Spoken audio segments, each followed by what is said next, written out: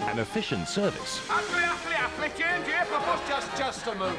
requires a smooth operation This is Hatley, Hatley, Hatley. Excellent, Mrs. Schumann. and plenty of team spirit.